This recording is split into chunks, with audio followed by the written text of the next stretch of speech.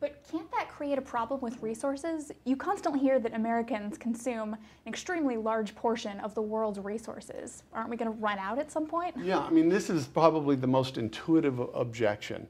Um, and so, I mean, you know, it's usually put this way look, if we keep using up oil at the same uh, rate that we're using it up, there's a finite amount of the stuff, and so we're going we'll use it up, we'll run out. Well, that would be true if the premise were true, if we keep using oil at the same rate. But this ignores the nature of economic reality. So uh, what, what's happening right now, let's just focus on energy resources, for instance. Remember, even oil was not previously a resource. Oil was either you didn't know about it, it was under the ground somewhere, or a farmer saw it in his field and it was treated as a pollutant. It only became a resource when people figured out that there was energy latent in it. We figured out ways to refine it so it could be used. And we developed technologies that could use the energy. Then it became a resource. And that's, it's kind of hard for people to get their minds around. But most resources, properly speaking, actually are not just something out there in nature. There's something from nature that is also uh, infused with human creativity and ingenuity. Even drinkable water, most of the water that we drink we're not getting it from a fresh spring, we're getting it because of some kind of human process. And so the first thing is to understand what's the nature of a resource. And once you see that, well, most of the relevant resources involve our own creativity, you realize that our ability to use resources, it changes over time, right? It's not always the same thing. Um, this is the, sort of hard for us to get. So at the moment, let's just take oil. We of course refine it as, as gasoline uh, for, for those who drive cars.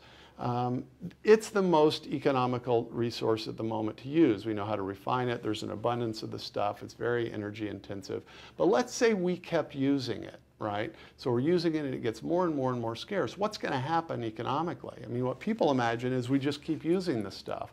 What they're forgetting is that the oil will, if we keep doing that, eventually become less and less available. And as it becomes less available and we can, you know, harder time discovering new oil reservoirs, what's going to happen? The price of oil is going to go up. And so at some point, there's a price point. It, it's probably something like $300 a barrel right now in which oil will no longer be an economical resource. This is actually what happened with wood uh, in Great Britain. There was worry on the main island of Britain a few hundred years ago because wood was the main source of fuel. Uh, and as a result, people would go out into the woods, cut down trees, and they're using the wood as fuel. And there was a fear that they were going to run out of wood and run out of forests. And it almost happened. They almost completely stripped the island clean.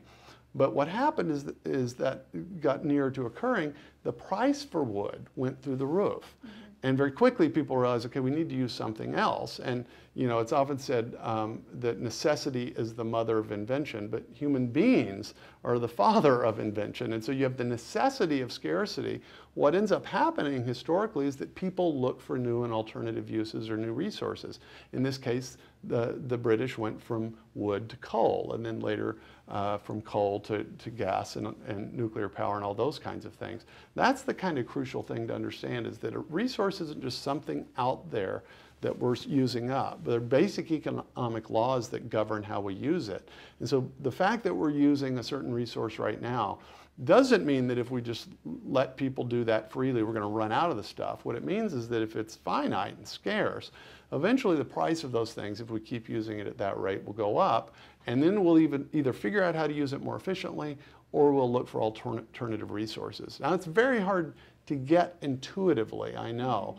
Uh, and so I always encourage people that really want to get into this to read a book like The Ultimate Resource 2 by Julian Simon. He gives hundreds and hundreds of, examples of the ways in which human ingenuity transforms the natural resources around us so that we don't just sort of leave things the way they are.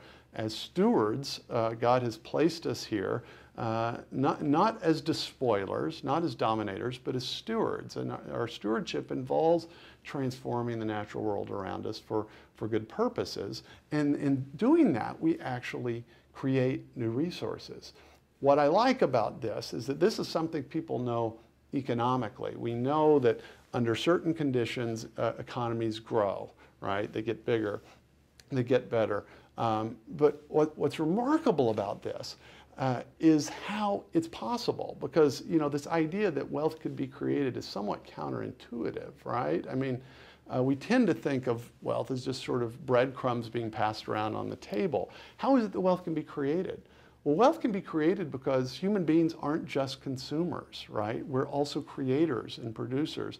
We are made in the image of the creative God. And so, as God is creative and exercises his creative freedom, he's the creator with a capital C, we're creators with a lowercase c. As a result of that, we're able to create wealth to transform the material world around us to create new resources. And this is a place where I, I think uh, Christian theology and economics actually converge and help illuminate and reinforce each other.